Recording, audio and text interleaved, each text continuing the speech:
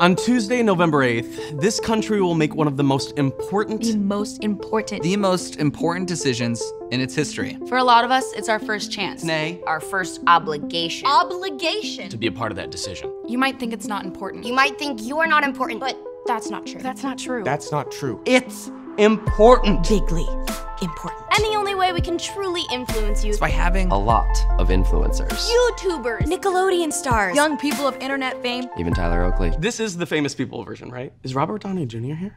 All repeating. Repeating. We're repeating how important it is to vote. Vote. Vote. Vote. Vote. Wow, there's so many influencers here. Not to show off, but I happen to have a lot of followers. Some of us don't have as many followers, but we have some. Sometimes they'll mix in someone who's not even verified. that sucks. Because they're relatable. So hashtag relatable. Hash brown. Relatable. Can we not?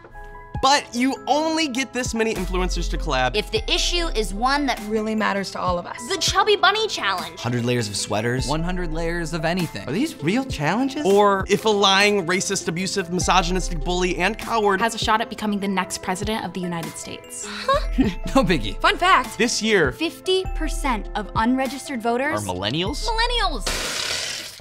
what? That doesn't make any sense! Look at every comment section ever. We have so many opinions. But we're not speaking up when it really matters? when we can actually make a difference? We cannot pretend that both sides are equally unfavorable. we can't say that one vote doesn't matter. Your vote matters. Your vote matters. It affects not just the presidency, But affordable education. Climate change, immigration, gun violence. systemic racism. the appointment of Supreme Court leaders who will affect our lives literally for generations, okay?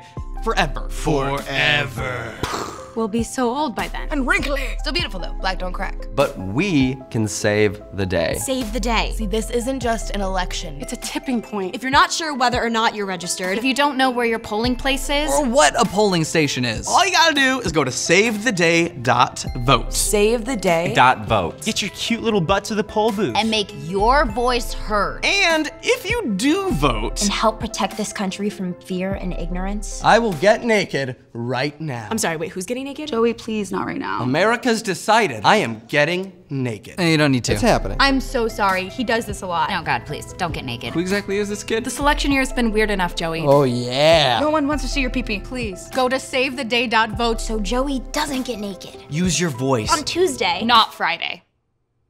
November 8th. Because we are all in this together. Together. Together. together. Thank you so much for watching this video, and do not forget to like, comment, subscribe, And What is that thing? vote! You're welcome, America.